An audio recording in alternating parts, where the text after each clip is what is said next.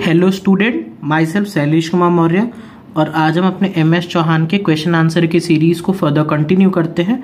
आज हम करेंगे आपके अल्काइंस के लेवल वन का क्वेश्चन इलेवन क्वेश्चन इलेवन में हमसे बोल रखा है कि which combination is best for preparation of the compound a shown below यहाँ पे आपको चार ऑप्शन दे रखे हैं और आपको बताना है कि इसमें से कौन सा ऑप्शन करेक्ट होगा जिससे कि हम कंपाउंड ए का प्रिपरेशन कर पाए। तो देखिए, जितने भी गिवन ऑप्शन दे रखे हैं उसमें जो जिस कार्बन की उन्होंने स्टीरियो केमिस्ट्री शो कर रखी है, उसको आपको डिस्टर्ब नहीं करना चाहिए। ऐसा आपको ऑप्शन चूज़ करना चाहिए। जैसे देखिए ऑप्शन सी अगर आप देखोगे तो उसमें क्या कर रहा है? उसी पर्टिकुलर कार्बन की स्टीरियो केमिस्ट्री को डिस्टर्ब कर रहा है। तो ऐसा ऑप्शन क्या हो जाएगा? गलत हो जाएगा। इन इन सिमिलर फ़ैशन अगर आप ऑप्शन डी को भी देखोगे तो वो भी आपका इलिमिनेट आउट ऑफ़ कर सकते हो। ठीक है? क्योंकि उसमें उसी कार्बन की स्टीरियोकेमिस्ट्री डिस्टर्ब कर दे रही है। लेकिन अगर आप ऑप्शन बी को एक बार ध्यान से देखें तो ऑप्शन बी में क्या हो रहा है? देखिए, ये कार्बन है, उसकी स्टीरियो केमिस्ट्री कुछ इस टाइप से है। ये एच आपका वेट पोजीशन पे सी एस थ्री कैसे है आपका डैश पोजीशन पे यहाँ पे आपका सी टू एच फाइव लगा हुआ है फिर ये है कार्बन कार्बन कार्बन और यहाँ पे बी आर लगा हुआ है ठीक है? हम किसके साथ में रिएक्शन करा रहे हैं? हम रिएक्शन करा रहे हैं आपका आ, ये देखिए यहाँ पे बी आर है और हम रिएक्शन करा रहे हैं आपका C triple bond C minus H ठीक है? इस टाइप से रिएक्शन करा रहा है। तो अब आपको पता है यहाँ पे क्या होगी? सब्सटीट्यूशन रिएक्शन हो जाएगी। ये इस कार्बन पे इस तरह से अटैक करेगा और ब्रोमीन एक अच्छा लिविंग ग्रुप है। तो यहाँ से क्या होगा? वो निकल जाएगा। तो आप देखिए जो फाइनल कंपाउंड बनेगा वो क्या बन जाएगा? यहाँ से हो जाएगा ये सी इस तरह से ये एच यहाँ पे है ये C two H five carbon carbon carbon और ये इससे कनेक्ट हो जाएगा C triple bond C H यही देखिए हमको कंपाउंड वहाँ पे फॉर्म करना था और वही हमारा बन चुका है, ठीक है? तो इस हिसाब से क्या करेक्ट आंसर हो जाएगा हमारा? ऑप्शन बी हमारा करेक्ट आंसर हो जाएगा। क्वेश्चन ट्वेल्व क्वेश्चन ट्वेल्व हमसे पूछता है यहाँ पे कि which one of the following is the intermediate in the preparation of a ketone by hydration of an alkyne in presence of sulfuric acid and mercuric to sulfate. तो देखिए, यहाँ पे जो हमारा क्वेश्चन है, वो कुछ इस टाइप से है कि जैसे मान लीजिए आपके पास कोई भी इस टाइप का अल्काइन प्रेजेंट है, ठीक है? इस तरह का कोई भी अगर आपके पास अल्काइन प्रेजेंट है, आप इसका हाइड्रेशन कराना चाह रहे हैं। हाइड्रेशन कराना किसके प्रेजेंस में चाह रहे हैं? एच जी टू प्लस और H two S O four ये रिएक्शन किसके लिए यूज़ होती है? ये यूज़ होती है हाइड्रेशन ऑफ़ अल्काइन के लिए हम यूज़ करते हैं, ठीक है? तो बोलता है कि इस रिएक्शन का एक इंटरमीडिएट को आपको बताना है। तो देखिए, इसमें जो हाइड्रेशन होता है, वो किस तरह से होता है कि आपको जैसे ये है ना बॉन्ड इसके ऊपर आपको क्या करना है? मार्कोनिक ऑफ़ रूल के हिसाब से वाटर का एडिशन करना है। तो अगर आप मार्कोनिक ऑफ़ रूल के हिसाब से वाटर का एडिशन करेंगे तो आप बताइए, आप किस तरह से एडिशन करेंगे? यहाँ पे ओ OH रख देंगे और इस पोजिशन पर क्या कर देंगे? एच आप लगा देंगे।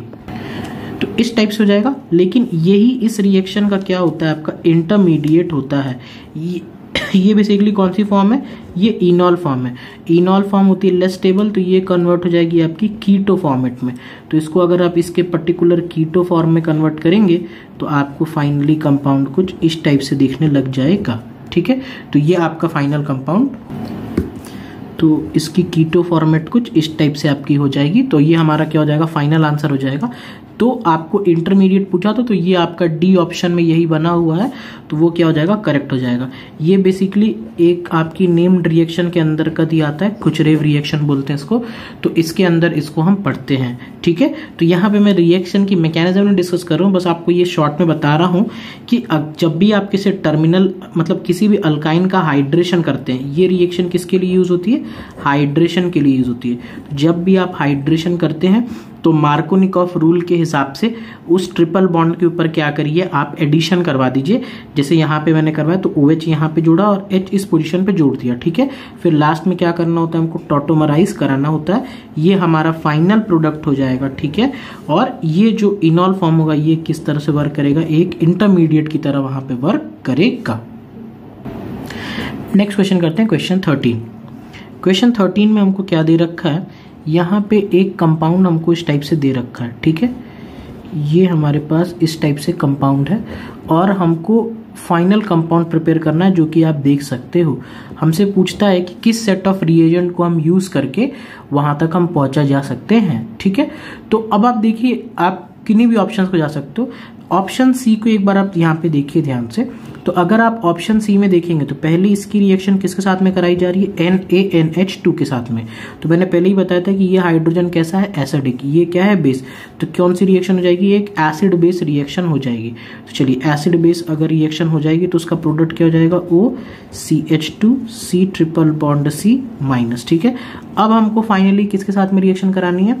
यहाँ पे कराना है I C H two C H two C H two B R ठीक है? देखिए, जो हमको फाइनल कंपाउंड बनाना है, उसमें आपको देखिए ब्रोमीन को रखना है, ठीक है? जो आप ऊपर देख रहे हो यहाँ पे, हमें जो फाइनल कंपाउंड बनाना है, उसमें हमको ब्रोमीन को स्टे कराना है, ठीक है?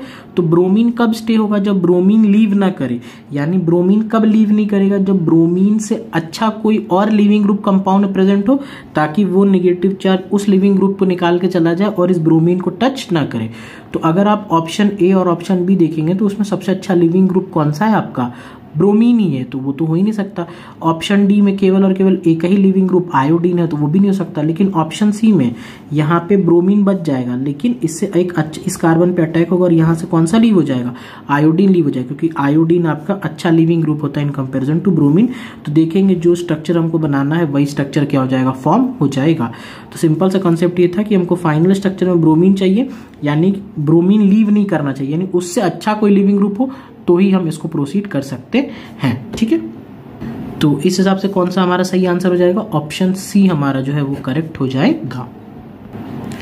क्वेश्चन फोर्टीन क्वेश्चन फोर्टीन में हमसे क्या कह रहा है? आपको कुछ इस टाइप से कंपाउंड दे रखा है। H C triple bond C P H ठीक है? आपको इसको साथ रिएक्शन करानी है आई टू और यहाँ पे आपको कुछ इस टाइप का इन्होंने एक कंपाउंड बना के रखा है, ठीक है? मैं आपको थोड़ा सा इस टाइप के एक बार कंपाउंड की कुछ इन्फॉर्मेशन आपको देता हूँ, ठीक है? देखिए, ध्यान से समझने की कोशिश करिएगा। हमारे पास बेसिकली तीन तरह के कंपाउंड होते हैं, ठीक है? वैसे तो है कई सारे, देखिए, एक होता है इस टाइप का कंपाउंड ठीक है? मतलब साइक्लोहेक्सेन में एक एटम को हमने रिप्लेस कर दिया नाइट्रोजन से। इसको हम बोलते हैं पिप्राडिन ठीक है? इसका नाम क्या होता है? पिप्राडिन होता है, ठीक है? एक कंपाउंड हमारे पास इस तरह से और होता है, जब उसी साइक्लोहेक्सेन में हम दो कार्बन एटम को, जो वन फोर पोजिशन पे थे नाइट्रोजन से रिप्लेस कर दे तो इसका नाम होता है पिप्राजिन। इसको क्या बोलते हैं? हम पिप्राजिन बोलते हैं, ठीक है? और सिमिलरली अगर एक नाइट्रोजन को ऑक्सीजन से और इसको इस तरह से कर दें, जो ये कंपाउंड यहाँ पे बना हुआ है, इसका नाम हो जाता है मॉर्फोलिन ठीक है? तो ये काफ़ी इंपॉर्टेंट नाम है जो आपको ध्यान में रहने चाहिए, ठीक है? क्या क्या नाम बोला मैंने? एक बोला पिप्राडिन, एक बोला पिप्राजिन बोला और एक क्या बोला? मॉर्फोलिन बोला। आपके, ये आपको कमेंट सेक्शन में बताना है कि इन तीनों में सबसे ज़्यादा बेसिक कौन है, ठीक है? आपको मतलब बेसिकली सीक्वेंस बताने की इन तीनों में सबसे ज़्यादा बेसिक कौन है। तो ये भी एक काफ़ी अच्छा क्वेश्चन आपके सामने बनता है सबसे ज़्यादा बेसिक कौन सा पिप्राडिन पिप्राजिन या मॉर्फोलिन तो यहाँ पे मॉर्फोलिन का स्ट्रक्चर बना हुआ है। मॉर्फोलिन होता क्या है? मॉर्फोलिन आपका एक बेस होता है। बेस का काम क्या होता है? एसिडिक हाइड्रोजन को एब्सटेट करना। आपको पता है ये अल्काइन है तो ये हाइड्रोजन कैसा है? इसका एसिडिक तो पहले स्टेप में क्या होगा? कि उस हाइड्रोजन को ये क्या करेगा? इस तरह से एब्स्ट्रैक्ट कर लेगा और यहाँ पे बन जाएगा सी माइनस अब सामने क्या पड़ा हुआ इसके आयोडीन पड़ा हुआ तो ये इसके ऊपर इस तरह से अटैक करेगा और यहाँ से आयोडीन क्या हो जाएगा? लीव कर जाएगा। तो फाइनल कंपाउंड क्या बन जाएगा? P H C triple bond C इससे जुड़ जाएगा आई तो इस टाइप्स का हमको यहाँ पे कंपाउंड देखने को मिल जाएगा। ठीक है? तो ऐसा हमको किस ऑप्शन में बना हुआ है? ऐसा हमको ऑप्शन सी में बना हुआ है। तो वो क्या हो जाएगा? हमारा करेक्ट आंसर हो जाएगा। क्वेश्चन 15 क्वेश्चन 15 में हमसे क्या पूछता है? यहाँ पे आपको कुछ एक कंपाउंड दे रखा है इस तरह से। ठीक है? C triple bond C H पहले किसके साथ में रिएक्शन करानी है हमको? N A N H two के साथ में रिएक्शन करानी है। सोडामाइट हमको पता है, ये एसिडिक हाइड्रोजन है तो इसी को क्या करेगा? एब्सटेट कर लेगा। तो एक बार अगर इसको बना लें। C triple bond C minus ठीक है? फिर हमको किसके साथ में रिएक्शन करानी है? सिंपली करानी है C S three B R के साथ में। तो एक सब्सटीट्यूशन रिएक्शन हो जाएगी, ये यहाँ पे अटैक करेगा और बी आर क्या होगा? लीव कर जाएगा। तो अगर हम यहाँ पे फिर से बनाएँ तो ये कुछ इस टाइप से हमारे सामने यहाँ पे बन जाएगा, ठीक है? लास्ट में किसके साथ रिएक्शन करानी है? One mole of Lindlar's catalyst ठीक है? एच के साथ में करानी है। तो आपको पता है ये जो लिनलार्स कैटालिस्ट है, ये कैसा एडिशन देता है आपका? किस तरह का अल्किन प्रोड्यूस करता है? ये सिस टाइप का अल्किन आपका प्रोड्यूस करता है, ठीक है? और इसका एडिशन कहाँ पे होगा? जिसको ज़्यादा ज़रूरत है। डबल बॉन्ड को ज़्यादा ज़रूरत है या ट्रिपल बॉन्ड को? ऑब्वियस बात है ट्रिपल बॉन्ड को ज़्यादा ज़रूरत है। इसकी रिएक्टिविटी ज़्यादा है तो यहीं पर रिएक्शन होगा। तो फाइनली जब रिएक्शन हो जाएगा तो ये कंपाउंड आपको कुछ सिस फॉर्मेट में अरेंज होता हुआ दिखेगा, ठीक है? मतलब दोनों हाइड्रोजन इस टाइप से सेट होंगे। तो अगर ऐसा कहीं पे बना है तो वो क्या हो जाएगा? आपका सही आंसर हो जाएगा। तो ऐसा हमको किस ऑप्शन में बना के रखा है? देखिए, ऐसा हमको बना के रखा ऑप्शन सी में इन्होंने बना के रखा हुआ है। तो इस वजह से इसका करेक्ट आंसर क्या हो जाएगा? ऑप्शन सी करेक्ट हो जाएगा, ठीक है? नेक्स्ट क्वेश्चन करते हैं क्वेश्चन सिक्सटीन क्वेश्चन 16 में क्या पूछा है? Which of the following alkyne on treatment with hydrogen two moles give an optically inactive compound काफ़ी सरल क्वेश्चन है। आपको बस ये ध्यान रखिए कि कोई सा भी अल्काइन हो, अगर इसके ऊपर क्या करेंगे? टू मोल्स हाइड्रोजन से आप ट्रीट कर देंगे। तो ये किसमें कन्वर्ट हो जाएगा? सिंपली अल्केन में कन्वर्ट हो जाएगा। कोई भी इसमें अनसेचुरेशन नहीं बचेगा। तो जितने भी ऑप्शन है, सब आपके अल्काइन वाले ऑप्शन ही है। तो टू मोल एच टू से जब भी रिएक्शन होगा तो कोई भी आपका प्रोडक्ट उसमें बचेगा नहीं। ठीक है? मतलब कोई भी अल्काइन नहीं बचेगा। तो पहला ऑप्शन क्या है? थ्री मिथाइल वन पेंटाइन तो रिएक्शन के बाद क्या हो जाएगा? आपको पेंटेन बनाना पड़ेगा इस तरह से। One two three four five और थर्ड पोजिशन पे आपने लगा दिया मिथाइल ये प्रोडक्ट आप बताइए, क्या ये प्रोडक्ट ऑप्टिकली एक्टिव है क्या? नहीं ऑप्टिकली एक्टिव नहीं है। क्यों नहीं है? क्योंकि देखिए, इसमें कोई भी कार्बन क्या है? काइरल ही नहीं है। तो हमारा यही क्या हो जाएगा? हमारा करेक्ट आंसर हो जाएगा। ठीक है? क्या बताया मैंने? कि थ्री मिथाइल वन पेंटाइन दिया हुआ था। अगर उसको जैसे ही आप two moles of H two के साथ में रिएक्शन कराएँगे तो वो आपका प्रोडक्ट किसमें कन्वर्ट हो जाएगा? पूरा अल्केन में, और अल्केन में कन्वर्ट हो गया तो इसमें कोई भी कार्बन कायरल नहीं है। इस वजह से ये ऑप्टिकली एक्टिव नहीं हो पाएगा। तो हमारा करेक्ट आंसर क्या जाएगा? ऑप्शन है बाकी में अगर आप करा के देखोगे तो ऑप्टिकली एक्टिव कंपाउंड वहाँ पे बन जाएगा। क्वेश्चन 17 ठीक है? क्वेश्चन 17 में हमसे क्या बोलता है कि कैल्शियम कार्बाइड की रिएक्शन हमने किसके साथ में करा दी? वाटर के साथ में करा दी। तो देखिए, यहाँ पे होता क्या है? ये C2H2 निकल जाता है इस तरह से, ठीक है?